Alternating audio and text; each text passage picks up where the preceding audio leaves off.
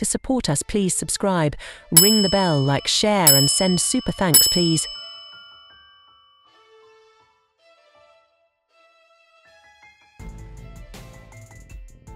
The longest films Hollywood ever made in today's age. It seems that the 1.5 hour film standard is a thing of the past. Increasingly, our favorite directors are pushing the limits of traditional run times. Perhaps thanks in part to streaming and the ability to pause at your convenience for snacks and bathroom breaks. But while there are some recent films that have challenged us with their over three hour run times, there have been many others who have released famous sprawling on screen epics in the past, with some even exceeding four hours. James Cameron's 2009 film Avatar was a groundbreaking achievement in visual effects that took more than a decade to produce. The second installment Avatar, The Way of Water is a whopping 3 hours and 12 minutes long Cameron declared that he didn't want to hear any complaints when the runtime was announced. I don't want anybody whining about length when they sit and binge watch television for 8 hours, he told Empire. I've watched my kids sit and do five one hour episodes in a row. Here's the big social paradigm shift that has to happen.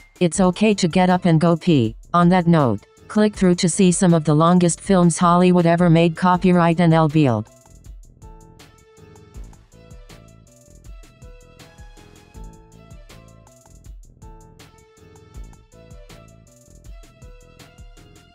Cleopatra, 1963, at a whopping 248 minutes, 4 HRS, 8 mins. The Elizabeth Taylor starring film was a spectacle through and through, telling the story of the Queen of Egypt, who seduces two Roman rulers, Emperor Julius Caesar, Rex Harrison, and his general Mark Antony, Richard Burton copyright Getty Images.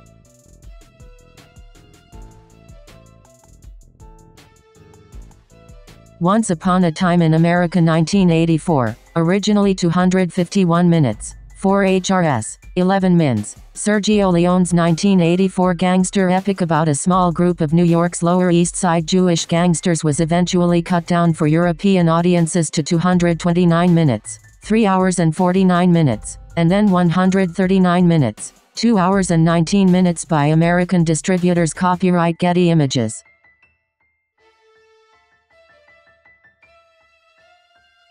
The Irishman, 2019. Martin Scorsese cashed in on his reputation when he put out this film that has a runtime of 209 minutes, 3 HRS, 29 mins, and trusted audiences to watch it. It's based on the Charles Brandt novel I Heard You Paint Houses, and follows the life and times of former hitman Frank Sheeran, Robert De Niro, in post-war America copyright NL Beeld.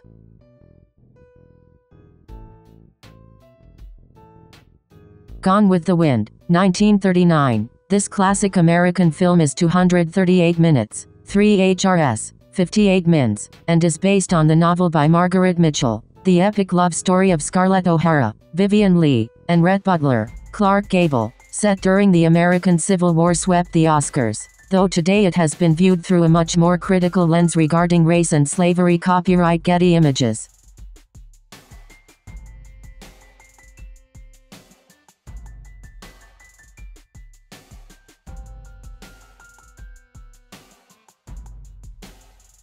Lawrence of Arabia, 1962. David Lean's much-loved epic historical drama is based on the autobiography Seven Pillars of Wisdom by British Colonel Thomas Edward Lawrence, and runs at an impressive 222 minutes, 3 HRS, 42 mins copyright Getty Images.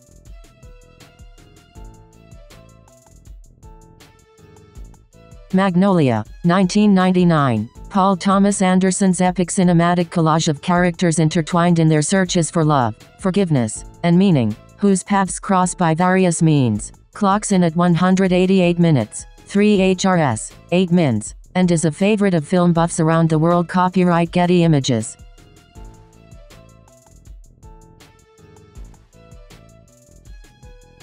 War and Peace, 1956. The epic film is based on the epic Leo Tolstoy novel of the same name, which explains why it runs at 208 minutes, 3 HRS, 28 minutes. Audrey Hepburn and Mel Ferrer star as Natasha and Andre copyright Getty Images.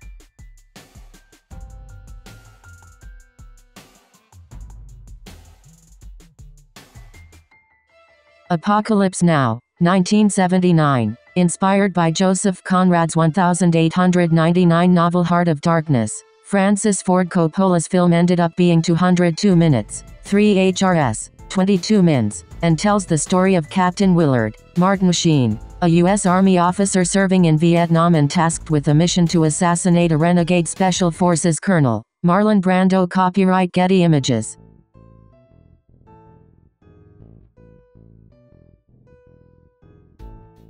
Ben-Hur, 1959. This cinematic marvel is especially impressive for the time it was made, running at 212 minutes, 3 HRS, 32 mins, and telling the story of Jewish nobleman Judah Ben-Hur, who is betrayed and sent into slavery by a Roman friend but eventually returns home for revenge. It was worth every minute, since it became the first film to win 11 Oscars copyright Getty Images.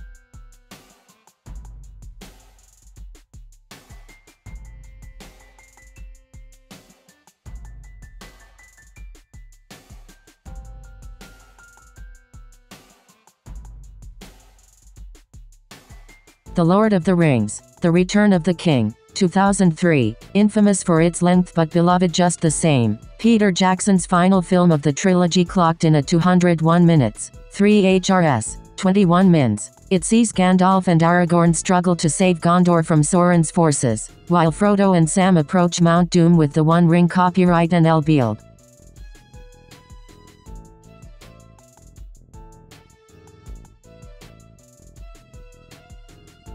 The Godfather, Part 2, 1974, famed for being one of the rare cases in which the sequel was better than the first film. Francis Ford Coppola's epic crime film runs 200 minutes, 3 HRS, 20 mins, and is considered one of the finest American movies of the late 20th century copyright Getty Images.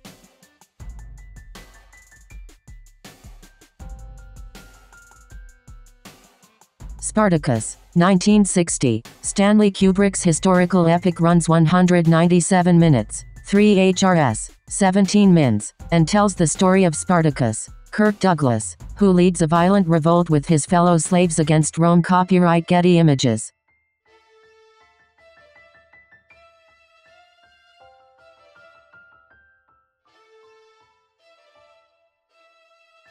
Zack Snyder's Justice League, 2021. Zack Snyder's director's cut demonstrated what he'd had in mind before personal tragedy tore him away from the project. The extended cut is 242 minutes, 4 HRS, 2 minutes, which is slightly different from the two-hour theatrical cut but was largely favored over the 2017 version copyright NL Beeld.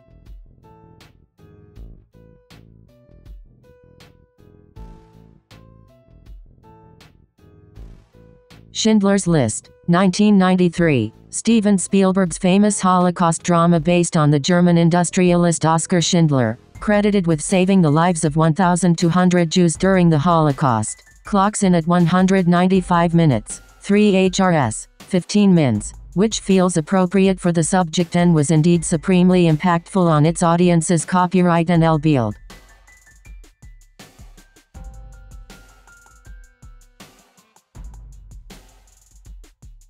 Titanic, 1997. James Cameron's blockbuster about the sinking of the Titanic runs at 194 minutes, 3 HRS, 14 mins, and each minute of the ill fated tale of a beautiful upper-class girl falling in love with a poor artist is savored by audiences copyright Getty Images.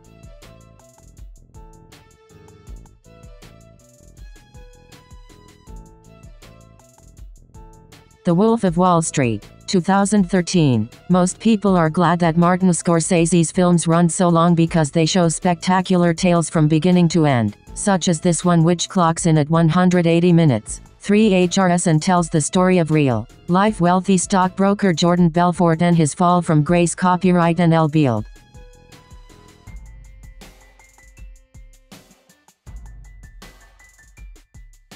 The Green Mile 1999 the fantasy drama based on Stephen King's 1996 novel of the same name runs 189 minutes, 3 HRS, 9 mins, and tells the story of a guard, Tom Hanks, at Cold Mountain Penitentiary's death row, nicknamed the Green Mile, whose life changes when he discovers one inmate, Michael Clarke Duncan, has a mysterious gift copyright Getty Images.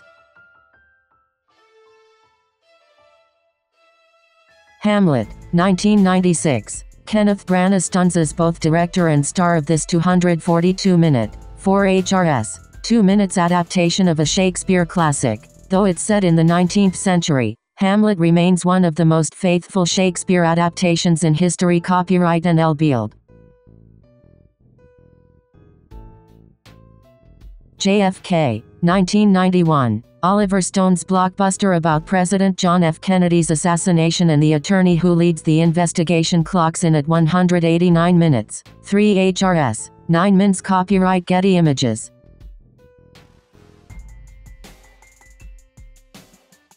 King Kong, 2005. Peter Jackson's ambitious take on the epic monster film runs at 185 minutes. 3 HRS. 5 Mins and follows a greedy filmmaker who assembles a team to find the fabled Skull Island, not knowing what awaits copyright N.L. Beeld.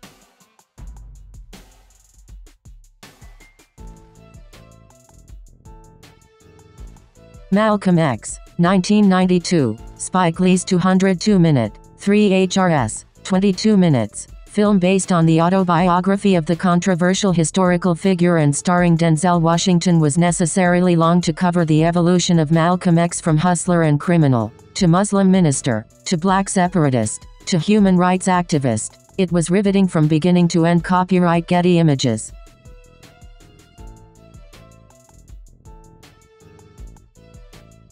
Dances with Wolves, 1990. This film, which runs at 181 minutes, 3 HRS, 1 minute, is one of Kevin Costner's most famous works, as he plays a lieutenant traveling to the American frontier to find a military post where he eventually befriends wolves and Lakota Native Americans. Copyright Getty Images.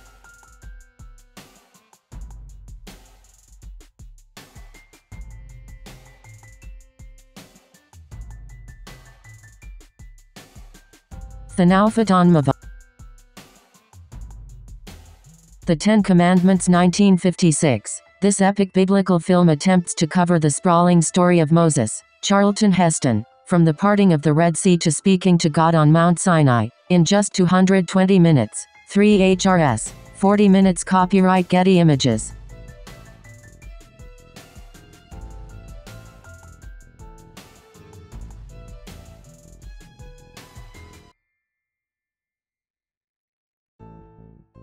The Deer Hunter, 1978. Michael Cimino's war epic is 182 minutes, 3 HRS, 2 minutes, long and examines how Vietnam War impacts the lives of three steelworkers from a small industrial town in Pennsylvania. Copyright Getty Images.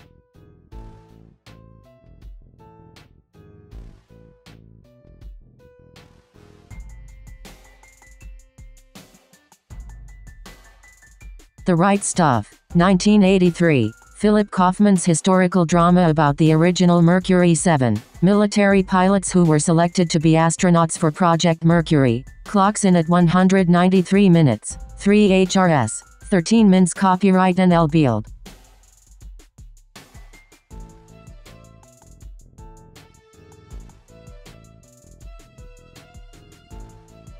It's a mad, mad, mad, mad world. 1963. This epic comedy film by Stanley Kramer is 210 minutes, 3 HRS, 30 minutes, long and tells the story of the race for the 350,000 US dollars that Smiler Grogan hid after he committed a robbery. After suffering a car crash, he tells five strangers who stopped about the money in Santa Rosita State Park under a large W marking, and you can guess the rest copyright Getty Images.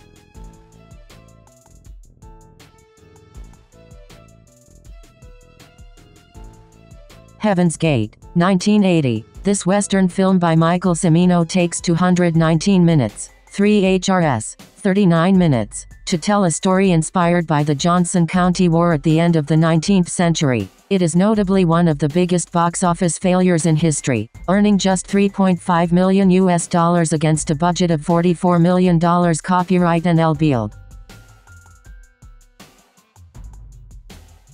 Gods and Generals 2003. Ronald F. Maxwell. Gettysburg is no stranger to long films, and this period war drama takes 219 minutes, 3 HRS, 39 minutes, to explore the early days of the American Civil War through the points of View of three men a former professor, a deeply religious Confederate, and the infamous General Robert E. Lee, Robert Duvall, who led the Confederate military. The film was criticized for its obvious Confederacy sympathies, though the scale remained impressive. Copyright and Bild.